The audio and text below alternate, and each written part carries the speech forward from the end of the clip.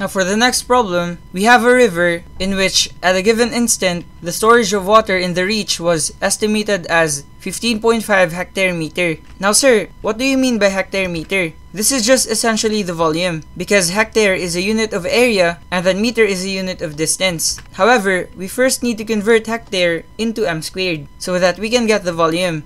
Now what would be the storage and the reach after an interval of 3 hours if the average inflow and outflow during the time period are 14.2 and 10.6? Now in order to solve this efficiently, we have delta S is equal to inflow minus outflow. However, we will just convert these at the same time or simultaneously. So we have our delta S is 15.5 hectare times meter and then 1 hectare is equal to 10 to the 4th meter squared. And so these will cancel, and then we have inflow minus outflow. However, this is the initial storage. And so since delta S is the change in storage, we have the final storage, which is SF minus the initial storage. And then here we have inflow minus outflow. So that'll be 14.2 meter cubed per second minus 10.6 meter cubed per second. However, we need to convert seconds into hours because we will multiply that by 3 because this is the interval we are considering.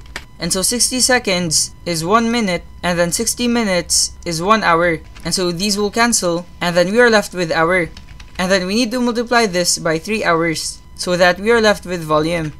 And so we have x minus 15.5 times 10 to the 4th. That's equal to 14.2 minus 10.6 times 60 squared multiplied by 3. And so that'll be 193,880. So SF equals 193,880. And then this is m cubed.